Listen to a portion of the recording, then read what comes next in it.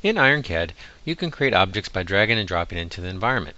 In this case, I created four objects, which are from the first part, which is our red part, blue, green, and yellow, as you can see in our tree. However, in the bill of material on the drawing, this might not be the correct order that you would want the objects created. For instance, this part, its bill of material actually is part number 3.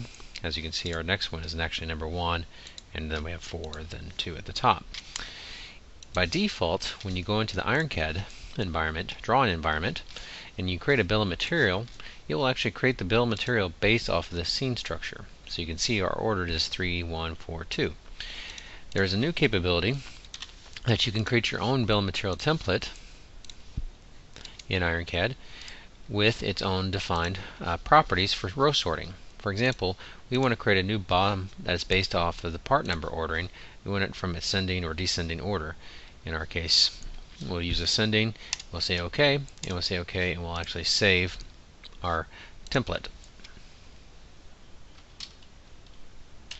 And this is saved in our default IronCAD working directory under the template location called BOM.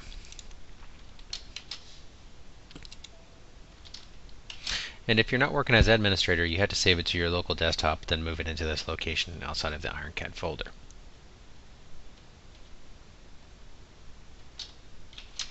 Once that is saved, we can now go ahead and access our BOM by creating a new bill material and we can see our new sorted bill material has been saved.